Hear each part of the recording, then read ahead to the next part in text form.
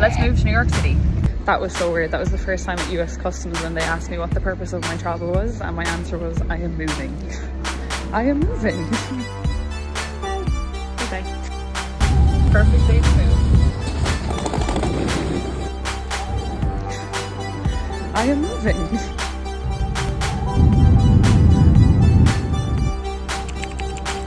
Walking through a crowd, the village is aglow. Kaleidoscope Seven hours later and we've just arrived in JFK. It already feels good to be back. Just waiting on my Uber.